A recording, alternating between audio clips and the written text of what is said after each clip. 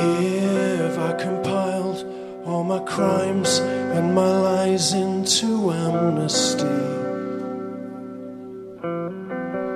would you come back to me? A smile on my lips is a sign that I don't hear you leaving don't hear my own soul scream.